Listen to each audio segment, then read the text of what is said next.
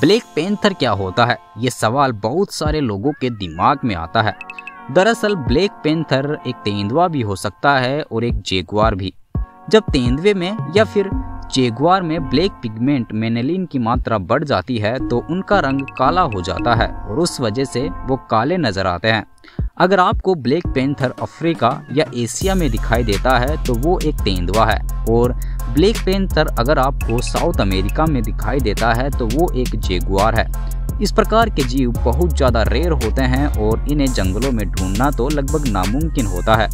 ये बहुत ही कमाल का जानवर है। अगर ये आपको दिखता है तो समझ लो आपकी किस्मत बहुत अच्छी है। जंगलों में कई दिनों तक घूमने के बाद भी ये नहीं दिख पाते।